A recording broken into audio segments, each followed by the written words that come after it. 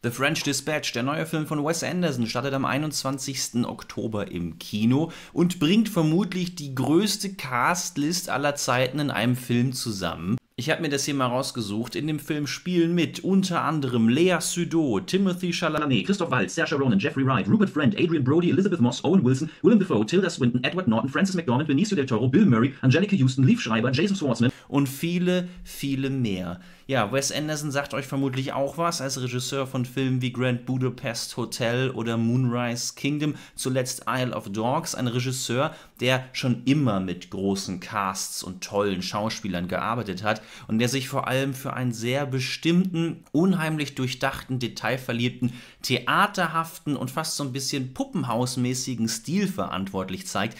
Ich mag seine Filme zum Großteil sehr gern. Er hat für mich hier und da die Gefahr, so ein bisschen sich zu sehr in seinen zugegebenermaßen genialen Inszenierungsformen zu verlieren. Aber die Filme, die ich von ihm mag, wie zum Beispiel Grand Budapest Hotel, mag ich unfassbar gern, weil die haben einfach so etwas Eigenes. Wenn man einen Wes Anderson-Film sieht, weiß man immer genau, dass etwas auf einen zukommt, was man so vielleicht nicht unbedingt erwartet. Bei The French Dispatch habe ich mich ebenfalls nach den Trailern sehr drüber gefreut, denn nicht nur die Castbreite, auch der ganze Look des Films fand ich sehr, sehr spannend. Und die Story gibt halt sehr, sehr viel Möglichkeiten her für Wes Anderson, viele lustige kleine quirky Geschichten zu erzählen. Der Film handelt vom fiktionalen Magazin The French Dispatch, was scheinbar vom New Yorker Magazine inspiriert wurde. Ein kleines Magazin geleitet von Bill Murray, das eine Jubiläumsausgabe herausbringen will und dafür sozusagen die größten und besten Autoren und interessantesten Artikel versammelt. Und diese Artikel, geschrieben von den Autoren,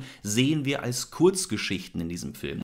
Da geht es zum Beispiel um eine Autorin, die ein, eine Studentenbewegung ähm, begleitet. Da geht es um eine Autorin, die sich mit Kunstwerken eines irren Massenmörders auseinandersetzt. Und all das verpackt Wes Anderson halt in seiner typischen kleinen Baukastenart und erzählt es in teilweise unfassbar toll choreografierten Szenerien. Also wie gesagt, ich habe mich unheimlich auf diesen Film gefreut, weil ich es auch immer als eine schöne Abwechslung empfinde, mal einen Wes Anderson-Film zu sehen. Jetzt ist es bei seinen besten Filmen für mich persönlich so, dass Wes Anderson halt nicht nur von seinem Stil leben kann. Der ist zwar sehr, sehr cool und macht sehr, sehr viel Spaß, aber es muss ja auch noch irgendwas hinter den Bildern stehen, was mich zum Beispiel an die Figuren heftet und so. Grand Budapest Hotel hat das in meinen Augen zum Beispiel geschafft. Vielleicht merkt man so ein bisschen schon, worauf ich jetzt hier hinaus will, denn in seinen schlechteren Filmen schafft er genau das nicht und mein Herz bricht, wenn ich hier formulieren muss, dass in meiner Sicht The French Dispatch so ein Film ist.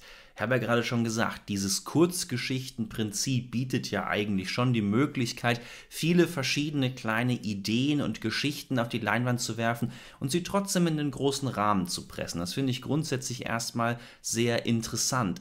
Aber jetzt war es für mich leider so, dass keine der hier drei dargestellten Kurzfilme ähm, mich großartig überzeugen konnten vom Inhaltlichen. Wenn ich jetzt aber weiter erstmal beim Äußeren bleibe und mich dann erst Richtung Inneres bewege, muss ich auf jeden Fall sagen, das ist wahrscheinlich Wes Andersons best aussehender Film. Also er konzentriert sich hier noch mehr auf die Theaterhaftigkeit seiner Inszenierung als zuvor. Da haben wir es mit ganz vielen Sets zu tun, die teilweise in den Szenen verschoben werden. Neue Sets werden im Hintergrund zusammengebaut. Wir haben Belichtung teilweise wie im Theater. Das ist teilweise wirklich wunderschön gemacht. Er fängt auch immer wieder verschiedene Szenerien, Häuser oder Flugzeuge von der Seite ein und zeigt alle verschiedenen Räume auf einmal, in denen allen was passiert. Teilweise schwingt und fährt die Kamera durch mehrere Räume gleichzeitig an dir vorbei und du fährst mit, dass es so wirkt, als hätten sich ellenlos, ellenlang ähm, verschiedene Sets aneinandergereiht. Klar wird das alles mit Schnitttechnik gemacht, aber es sieht halt toll aus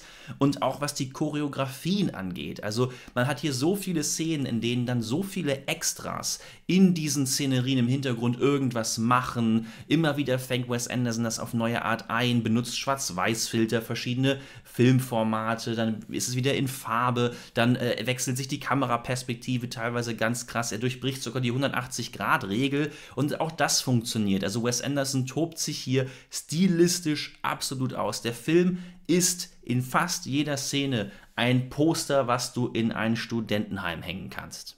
Und der Cast hat sichtlich Spaß daran, in diesem Film mitzuspielen. Also ich glaube persönlich, für jede Schauspielerin, jeden Schauspieler ist es ein absolutes Must, in mal einem Wes Anderson-Film mitgespielt zu haben, weil ich glaube, du hast da allein beim Dreh unheimlich viel Spaß, diese quirky Figuren zu spielen, einfach mal zu voll overacten. Die große Variation an Castmitgliedern, die man kennt und die eine Stunde 45 Laufzeit dieses Films zieht aber mal nach sich, dass manche hier sehr, sehr kurz nur vorkommen. Also wer jetzt denkt, wow, ein Wes Anderson-Film mit Christoph Waltz, das muss ich sehen, die Minute, wo er hier drin ist, ist auf jeden Fall ziemlich cool. Also es gibt auf jeden Fall ein paar natürlich ähm, Schauspielerinnen und Schauspieler, die ein bisschen größeres Spotlight bekommen, Tilda Swinton zum Beispiel, Francis McDormand, Timothy Chalamet und so, die machen ihre Rollen alle super und auf eine sehr Wes Anderson-typische, ich sag mal fast ein bisschen kühle Art. Es ist ja schon oft so, dass diese Figuren jetzt nicht immer in krasse Emotionen oder so weiter ausbrechen, sondern sehr blank ihre Dialoge und Monologe vorlagen und das äh, vortragen und dass mehr die Musik und die Settings im Hintergrund dieses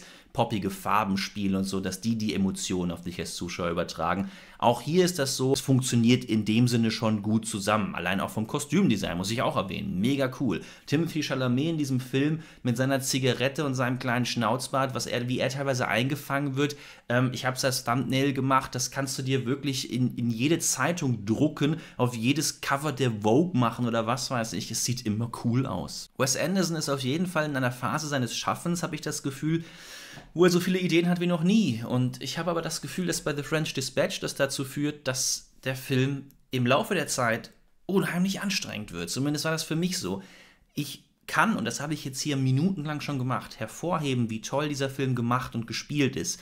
Aber das bringt nun mal nur ein bisschen was, wenn die Substanz fehlt. Und die fehlt in meinen Augen hier nicht, weil die Geschichten schwach sind oder da nicht Liebe und Leidenschaft drin steckt. Überhaupt nicht. Hier gibt es Geschichten, die auf Vater-Sohn-Beziehungen eingehen. Es geht, geht um Geschichten um Einsamkeit von Autoren und so weiter. Hier, hier ist Emotion drin, auf jeden Fall. Aber die wird so abgefeuert mit so vielen verschiedenen Thematiken und Sets und Ortschaften und Dialogen, dass man als Zuschauer gar nicht hinterherkommt. Da gibt es dann, wie gesagt, dann gibt es mal eine Szene, auf einmal rennt Christoph Walz für eine Minute durchs Bild und dann ist er schon wieder weg. Dann kommt schon die nächste Figur, wir sind schon wieder im nächsten Set, dann wird wieder ein großes Dialoggefecht ausgeballert und so weiter und so fort. Und das, das macht der Film von Minute 1 bis zum Ende hin durchgehend.